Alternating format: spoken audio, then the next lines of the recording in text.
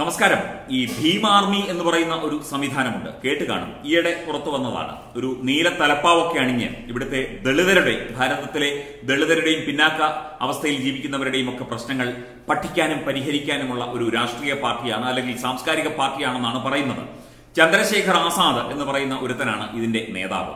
അവന്റെ വളരെ ഉറുമാലുകളൊക്കെ പിടിപ്പിച്ച നല്ല ഭംഗിയുള്ള നീല തൊപ്പിയും നീല ഷാളും ഒക്കെ പിടിപ്പിച്ച് കേരളത്തിലും വന്നിരുന്നു. വെറും പൊട്ടനാണ്.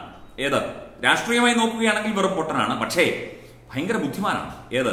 അവൻ ഇവിടെ രാജ്യത്തെ തകർക്കാനും രാജ്യത്തെ തകർക്കുന്നവരുമായി കൂട്ടുചേരാനും ഒക്കെ വലിയ മിടുക്കാണ് ഈ ഭീം ആർമിയുടെ തലവന്. ഭീംറാവു അംബേദ്കറുടെ പിൻഗാമികൾ എന്ന് പറഞ്ഞൊക്കെയാണ് ഇവിടെ മുമ്പോട്ട് പോകുന്നത്. ഇവിടെ പിന്നാക്കാവസ്ഥക്കാരുടെ അല്ലെങ്കിൽ ദളിതരുടെ പ്രശ്നങ്ങൾ പരിഹരിക്കാൻ ഇവിടെ നട്ടല്ലും ഇച്ഛാശക്തിയുമൊക്കെയുള്ള ഒരു സർക്കാരുണ്ട് ഭാരതത്തിൽ എന്നുള്ള കാര്യം ഇവനൊക്കെ അറിയാഞ്ഞിട്ടല്ല. ഇവൻ എങ്ങനെങ്കിലും കലാപമുണ്ടാക്കണം. ഇവിടെ ഭാരതത്തെ ഭിന്നിപ്പിക്കണം. അതിനുവേണ്ടി രാജ്യവിരുദ്ധ മതഭീകര ശക്തികളോട് കൂട്ടുകൂടി എന്ത് തെണ്ടിത്തരവും എന്ത് താന്തോന്നിത്തരവും കാണിക്കുന്ന ഒരു രീതിയാണ് ഈ ചന്ദ്രശേഖർ ആസാദും അവന്റെ കൂടെയുള്ള കുറെ ആളുകളും ചേർന്ന് ഇവിടെ കാട്ടിക്കൂട്ടിക്കൊണ്ടിരിക്കുന്നത്. ഇവിടുത്തെ ജനങ്ങൾക്ക് ഭാരതത്തിലെ ജനങ്ങൾക്ക് ഇവനെയൊക്കെ നന്നായി മനസ്സിലായിട്ടുണ്ട്. അവനൊക്കെയുള്ള മറുപടി അവർ കൊടുത്തുകൊള്ളും. കൃത്യമായി തന്നെ കൊടുത്തുകൊള്ളും. പോപ്പുലർ ഫ്രണ്ട് ഓഫ് ഇന്ത്യയുമായി ചേർന്ന് ഇവ പല തരികടകളും ഡൽഹി കലാപ സമയത്ത് കാണിച്ചതായുള്ള റിപ്പോർട്ടുകളാണ് പുറത്തുവരുന്നത്. വിശദമായ അന്വേഷണത്തിന് ശേഷം ഡൽഹി പോലീസാണ് ഇതിന്റെ വിശദാംശങ്ങൾ പുറത്തുവിട്ടത്. നമുക്ക് നോക്കാം ആ റിപ്പോർട്ടുകൾ.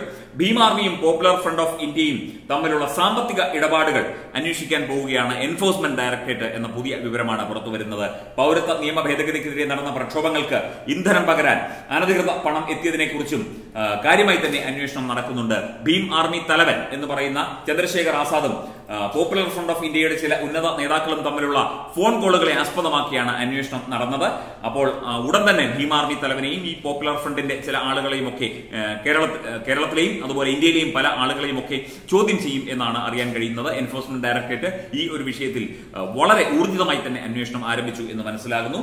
സി എ വിരുദ്ധ കലാപങ്ങൾക്കിടയിൽ ജുമാ മസ്ജിദ് മേഖലയിൽ നടന്ന ചില അക്രമ സംഭവങ്ങളെക്കുറിച്ച് രണ്ടുപേരും അതായത് ഭീമാർമി തലവൻ ചന്ദ്രശേഖർ ആസാദും പോപ്പുലർ ഫ്രണ്ട് നേതാക്കളും ചർച്ച നടത്തിയതായുള്ള വിശദാംശങ്ങൾ പുറത്തു വന്നിട്ടുണ്ട്. അതിലെ അതിനെക്കുറിച്ചായിരിക്കും കൂടുതൽ അന്വേഷണങ്ങൾ നടക്കുക.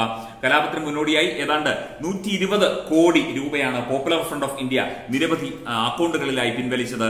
ഇത് ഈ വാർത്ത വിശദമായി തന്നെ തത്വമായി ന്യൂസ്. പല പല പല എപ്പിസോഡുകളായി പല വാർത്താ ശകലങ്ങളായി പ്രേക്ഷകരിലേക്ക് എത്തിച്ചിരുന്നു. ഇതിന്റെ വിശദാംശങ്ങളും ഈ നൂറ്റി ഇരുപത് കോടി രൂപയുടെ കഥയും പോപ്പുലർ ഫ്രണ്ടിന്റെ ഡൽഹിയിലെ ഓഫീസ് കേന്ദ്രീകരിച്ച് നടന്ന പരിശോധനയും അന്വേഷണവും ഒക്കെ തന്നെ നമ്മൾ വിശദമായി വാർത്ത നൽകിയിരുന്നു. അപ്പോൾ ഈ ഒരു വിഷയത്തിൽ കൂടുതൽ അന്വേഷണം നടക്കുന്നതൊപ്പം തന്നെ നടക്കുന്നതിനൊപ്പം തന്നെ ഈ ചന്ദ്രശേഖർ ആസാദ് ഇങ്ങനെ ഒരുത്തൻ ഉദയം ചെയ്യുന്നത് എങ്ങനെയാണ്?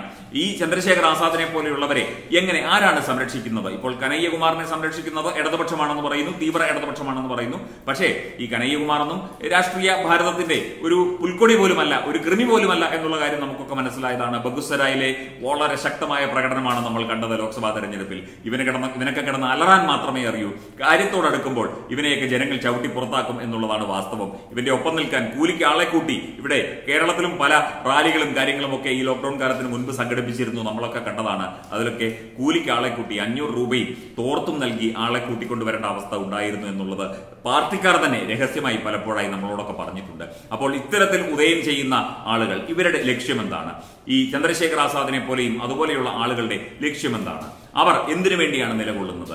ദളിത് സമൂഹത്തിന്റെ ഉന്നമനത്തിന് വേണ്ടിയാണോ നിലകൊള്ളുന്നത്? ഇവിടെ ദളിതർക്ക് അല്ലെങ്കിൽ പിന്നോക്ക വിഭാഗങ്ങൾക്ക് എല്ലാവിധ സഹായങ്ങളും സഹകരണവും അവരുടെ സമൂഹത്തിലേക്കുള്ള അവരുടെ ആ ഒരു അവർ അവരുടെ ആ വരവിനെ ഏറ്റവും കൂടുതൽ സ്വാഗതം ചെയ്യുകയും അവർക്ക് എല്ലാവിധ പ്രോത്സാഹനങ്ങളും നൽകുകയും സാമ്പത്തികമായും വിദ്യാഭ്യാസപരമായും സാമൂഹ്യപരമായും അവരെ സംരക്ഷിക്കുകയും അവർക്ക് എല്ലാവിധ കാര്യങ്ങളും ചെയ്തു കൊടുക്കുകയും ചെയ്യുന്ന ഒരു സർക്കാർ ഇവിടെയുള്ളപ്പോൾ ഈ ദളിതരുടെ പ്രശ്നങ്ങൾ ഉയർത്തിക്കാട്ടിക്കൊണ്ട് അല്ലെങ്കിൽ അവർക്ക് ഇല്ലാത്ത പ്രശ്നങ്ങൾ ഉണ്ട് എന്ന് വരുത്തി തീർത്തുകൊണ്ട് ദളിതരുടെ കണ്ണിൽ പൊടിയിട്ടുകൊണ്ട് അതുപോലെ തന്നെ ഭാരതത്തിലെ ജനങ്ങളുടെ കണ്ണിൽ പൊടിയിടാൻ ശ്രമിച്ചുകൊണ്ട് ഭാരതത്തെ ഭിന്നിപ്പിക്കാൻ ഈ മത മൗലികവാദികളുമായി അല്ലെങ്കിൽ മത തീവ്രവാദികളുമായി കൂട്ടുചേർന്ന് വിദേശ പണം വരെ പറ്റി പാകിസ്ഥാനിൽ നിന്ന് വരെ ഇവർ പൈസ കിട്ടുന്നുണ്ടെന്നാണ് പറയുന്നത്.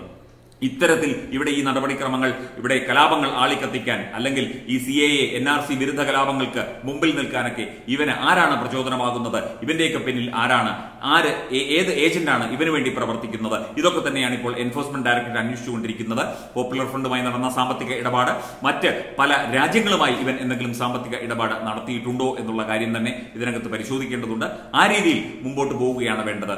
ഈ ഒരു അന്വേഷണം അത് കുറച്ചുകൂടി മുമ്പോട്ട് പോയി കഴിയുമ്പോൾ ചന്ദ്രശേഖർ ചന്ദ്രശേഖർ ആസാദിനെ പോലെയുള്ളവരുടെ വിശദാംശങ്ങളും മറ്റു കാര്യങ്ങളും അവരുടെ ചരിത്രവും അവരുടെ ബാക്ക്ഗ്രൗണ്ടും അവരുടെ ഇത്രയും നാളത്തെ പ്രവൃത്തിയും ഒക്കെ തന്നെ വെളിച്ചത്ത് വരും. തീർച്ചയായും അന്വേഷണം തുടരട്ടെ. ഇത്തരത്തിൽ രാജ്യവിരുദ്ധ ശക്തികളും രാജ്യവിരുദ്ധ ശക്തികൾക്ക് നേതൃത്വം കൊടുക്കുന്നവരും ഇവിടെ നിലനിൽക്കാൻ പാടില്ല. ഒരിക്കലും ഇവിടുത്തെ ഭാരതത്തിലെ ജനങ്ങൾ അത് അനുവദിക്കുകയില്ല എന്നത് സ്പഷ്ടമായ കാര്യമാണ്. Web desk തത്വമി news